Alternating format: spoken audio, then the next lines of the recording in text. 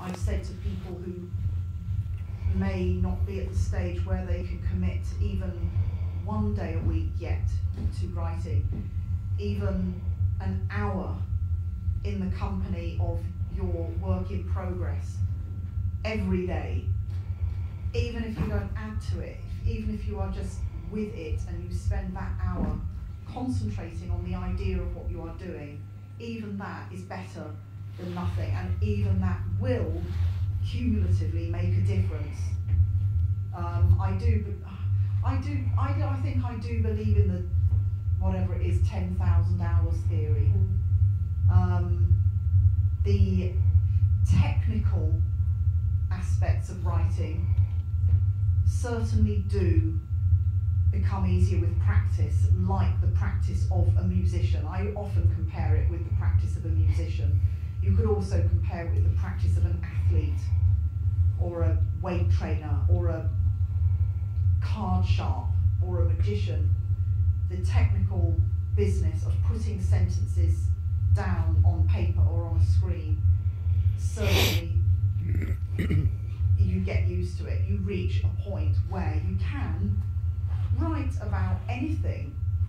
It's part, it's part of what you do. You've learned that. It's like becoming an airline pilot. You, you can do it. The, maybe some of the difference between that and being a, profession and, and being a writer is that there are other aspects of writing that don't become any easier at all. In fact, for me, and I suspect for many, they become more difficult. Um, the idea of challenging yourself to go further, the idea that just because you can write about anything doesn't mean you should. You should find what's harder, what scares you. Um, everything I write now feels a lot scarier than it did when I first started writing. I have no idea what a monstrous profession it is when I first started. You just go into it, and um, that's also what makes it exciting. That's also what makes you keep wanting to do it. The fact that it never becomes easy, the fact that it never becomes rote. It's always new. So yeah, just do it. Um, what she said. I'd, I'd, probably probably go a little further and say you really need to commit.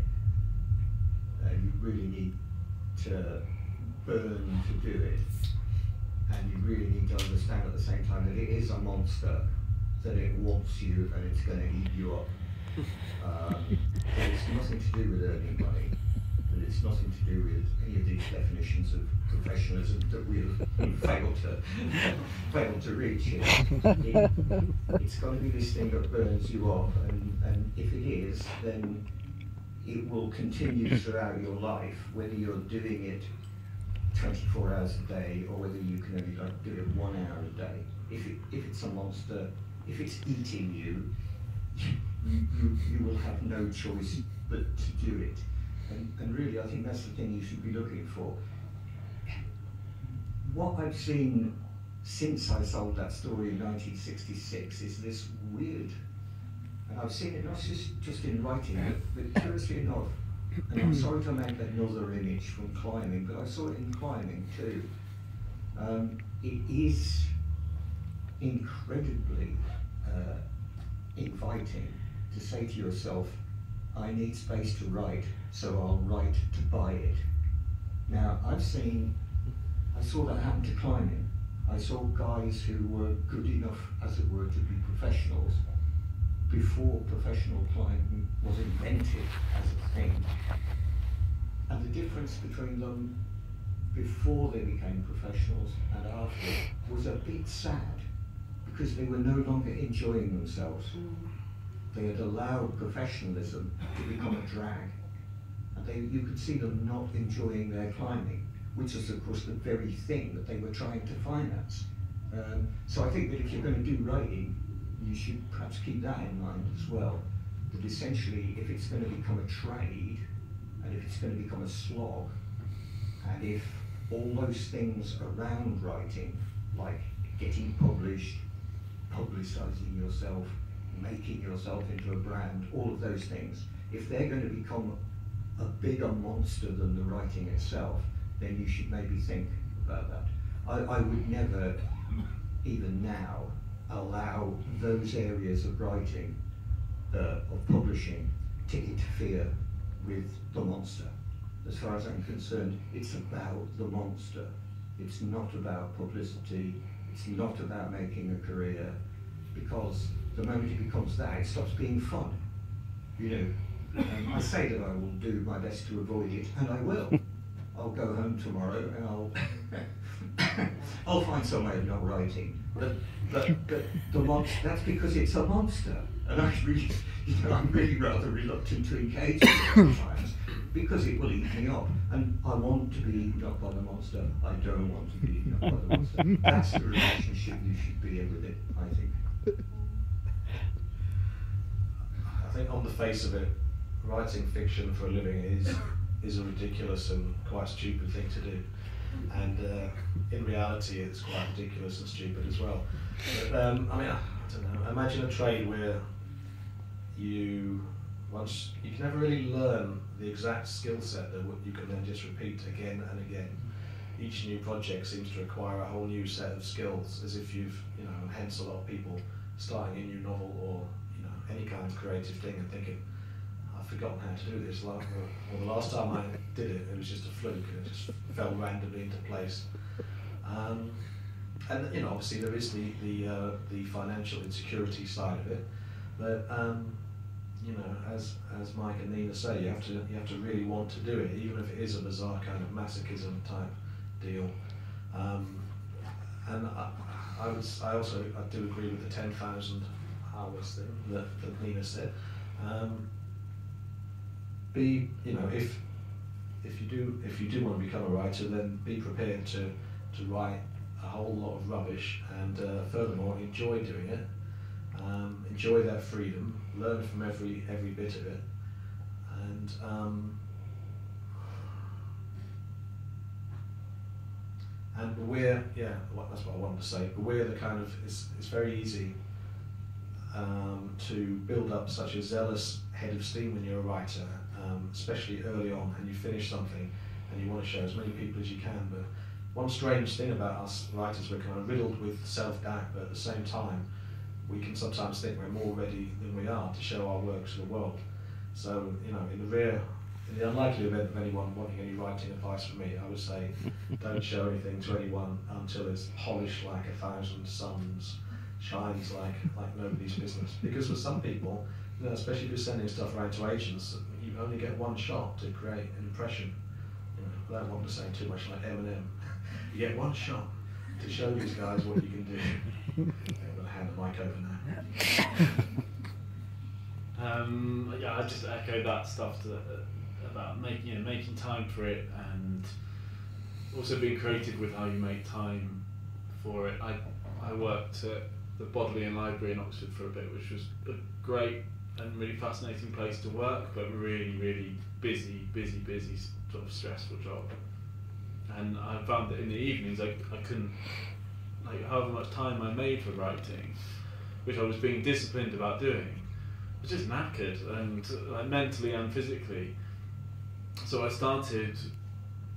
Well, which this wouldn't work for me now, but back then I was able to. I, I started setting the alarm an hour and a half earlier in the morning and getting up and doing some writing then, and uh, again it was that thing of not not having the, any of the day kind of already in your mind, that kind of freshness of, of waking up. It, it, worked brilliantly for me at that point in my life. It wouldn't work for me now, but I think there's a there's a way you, there are ways you can be creative with where that where you can mark out that time.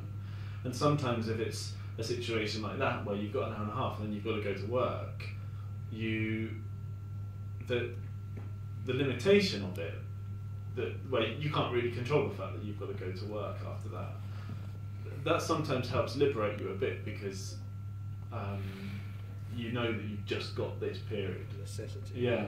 But the second thing I would say, which I, have, well, having done that, having made made your space, for me the thing that is so.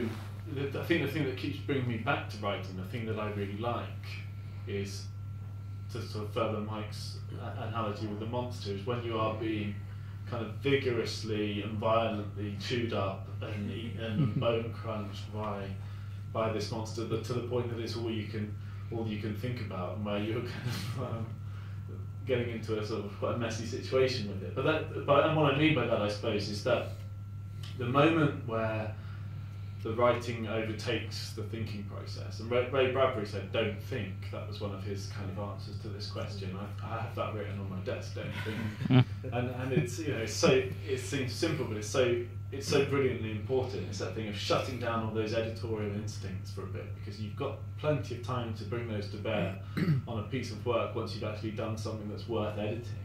Just shut those up and and just find the ways to trick out that part of you that suddenly starts to invent things where you where you don't really know what's going on. you, that's where the thrill is in writing because suddenly you you're you're on, on board some ride that you don't know where it's going and you're experiencing it for the first time just as a, as a reader might. Um, and so I would say look look for that, look for what be kind of analytical about that in the sense of looking for what, what triggers it, what are there tricks that you can burn yourself to make that happen. And I think Bradbury did a lot of listing because he felt that if he just wrote stuff, that kind of stream of consciousness thing, he just write and write and write. Don't stop moving your pen, just keep writing any old crap onto the page. And then suddenly at some point, the monster wakes up and comes in and starts writing it for you. There are all kinds of tricks, you can look them up on the internet, the writers give loads of advice of different ways to do it.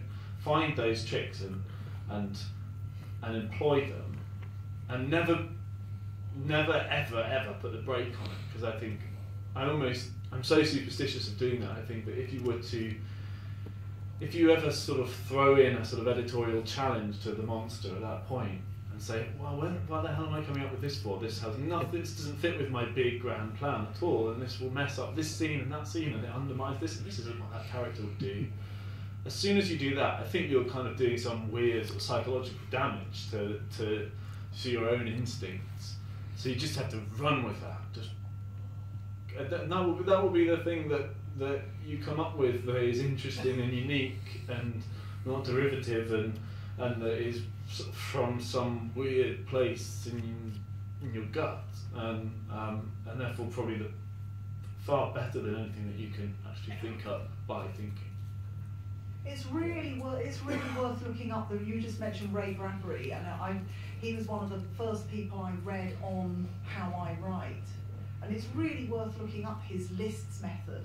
And he used to just list these freakish titles like the freaks or the the thing, the the devil, the jar, the, and you see how through through his career those actually all became short stories. And he describes how he'd just sort of sit in a chair and let that story happen inside his head and they wouldn't always immediately happen he might have a list a title on his list that he wouldn't have a story for for another 10 years.